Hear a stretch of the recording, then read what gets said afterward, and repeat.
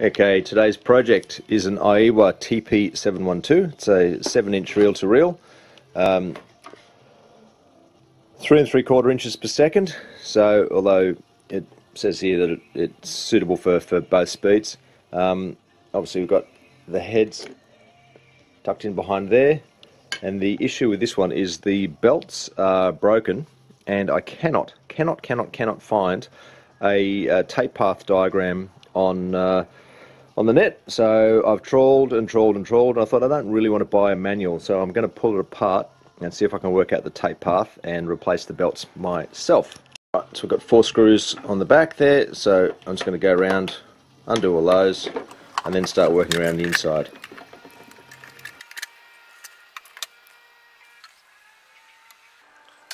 So you can see the primary drive belt there, and which one, which is fine, and I, and and I tell a lie, I actually have replaced this one recently, but it's one of the fast forward and rewind belts that is no longer working. So you got to unsolder these battery tabs. You could probably do it without taking these off, but this just makes it so much easier. The iron's still heating up, so it's just a bit cold. What I recommend you do is to grab a Sharpie and just anything that is a screw that connects to the chassis, just put a little black mark on it so that you know that you're going to be screwing into the uh, basically you, are not replicating one of the, um, one of these screws on the back of the case. And it's pretty obvious between the two styles. You've got a, a screw to metal style and you've got a threaded screw to plastic style. Now you notice at the top of this one here is brass and it's because it's actually a it's a threaded shaft that goes all the way through that you can see there. So unscrew it from the top like this and then the whole thing comes off. Basically you have to take this one off um, because it actually acts as the screw mount into the case below. You can see there. Alright so that was the last little screw up there. Try not to mix any of the screws up so I've taken off my leads and then the whole thing just comes out and we can see that we've got a belt there and we've got a belt here. So this one's obviously carked it and I've got to replace it.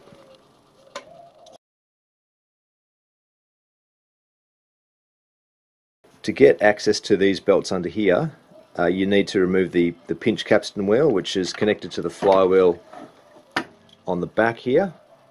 And to do that I'm going to take off these two screws there and there which connect the um, basically secure the flywheel. And I've also got to remove the main capstan drive. And that actually if you just secure the the uh, I've got my fingers underneath you can just unscrew the top of the pinch capstan. You can see that it actually comes off. It's a little threaded unit. And don't lose that. And then you can see the capstan there. And it is now basically only held in by the screws at the back which I'll now remove. So I'm going to turn this over. And and you can see what I've done years ago is I bypassed the crappy little um, 240 volt inlet because I didn't have which is this thing here because I didn't have a special plug for that and um, I've just put 240 volt um, plug connection on there one two. take that off. So that's the main flywheel. Now if I turn this over,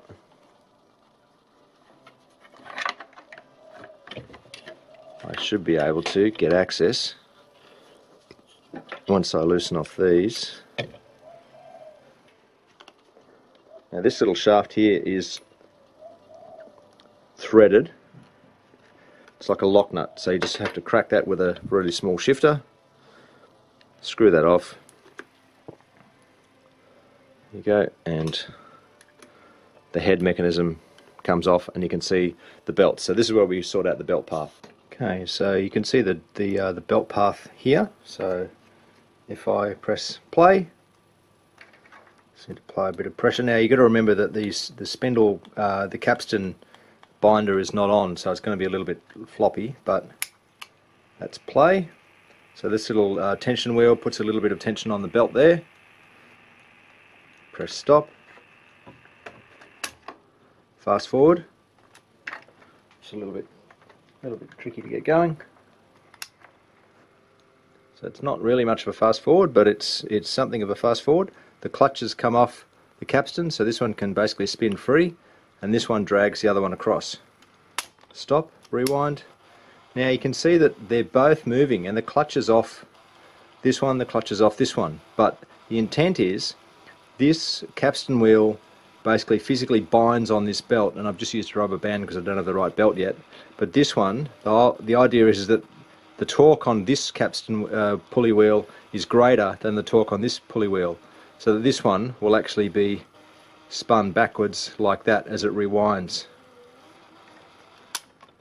So that's how they work. So you got to remember that these belts were meant to have slip built into them, and so using rubber really is a mistake, but it does get me out of trouble. Okay, so we've done a quick uh, reassembly. Moment of truth.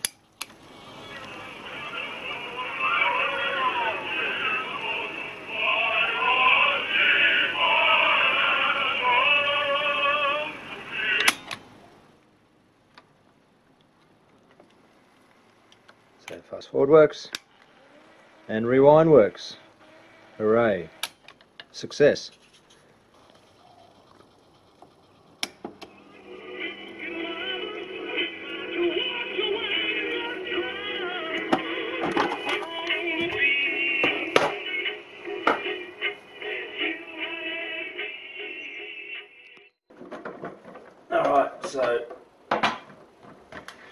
Was picked up for two bucks at a garage sale.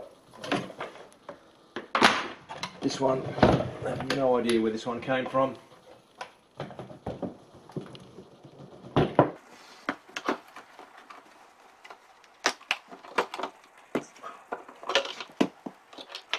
So these will be the next projects. It's a Philips. It's even got a tape counter. No idea if it works. And this is a um, is a Sony. It's got a tape in it. No idea what's on it. Um, but it's got adjustable speed. Got uh, VU meters, and I have no idea if it works or not.